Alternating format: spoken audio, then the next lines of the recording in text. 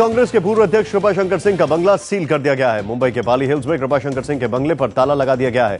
कृपाशंकर के 19 ठिकानों की को जब्त किया जाएगा। बॉम्बे हाईकोर्ट के आदेश के बाद कृपाशंकर सिंह के खिलाफ कार्रवाई हो रही है। मुंबई कांग्रेस के पूर्व अध्यक्ष कृपाशंकर सिंह को आज सुप्रीम कोर्ट से भी राहत नहीं मिली।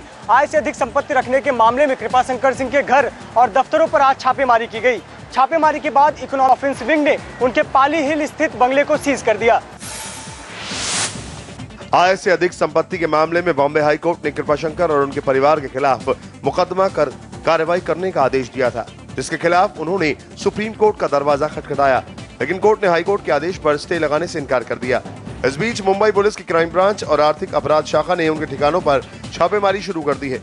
पुलिस अधिकारी कृपाशंकर की प्रॉपर्टी और बंगले की फोटोग्राफी कर रहे हैं। बताया जा रहा है कि कृपाशंकर सिंह और उनके परिवार के नाम पर अरबों की संपत्ति है।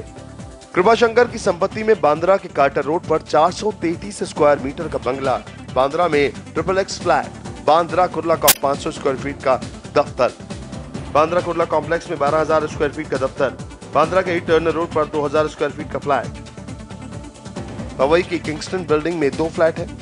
साथ ही पवई के एब्रोशिया में एक फ्लैट पवई में 930 स्क्वायर फीट वाली दो दुकानें, सांता क्रूज में नौ स्क्वायर गज का प्लॉट, विले पार्ले में 1355 स्क्वायर फीट का डुप्लेक्स, भांडुप में एसडीआईएल बिल्डिंग में दुकानें, पनवेल में 1100 स्क्वायर फीट की दुकान, रत्नागिरी में 50 एकड़ ज़मीन, यूपी के जौनपुर में 8000 स्क्वायर फीट का कमर्शियल कॉम्प्लेक्स भी, मुंबई के पूर्व कांग्रेस अध्यक्ष कृपाशंकर सिंह और उनके परिवार के नाम है।